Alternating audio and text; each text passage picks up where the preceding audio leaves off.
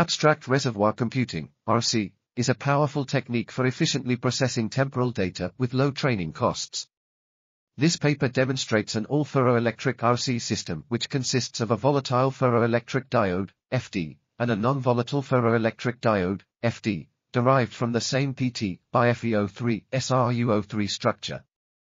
The volatile FD with an imprinted electric field, IMP, exhibits short-term memory and nonlinearity, while the non-volatile FD with no IMP shows long-term potentiation depression.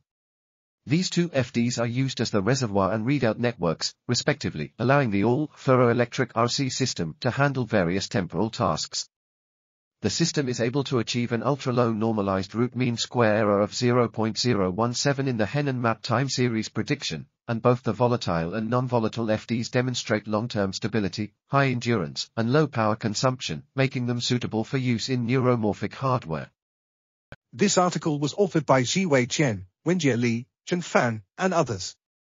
We are RTCL.TV, links in the description below.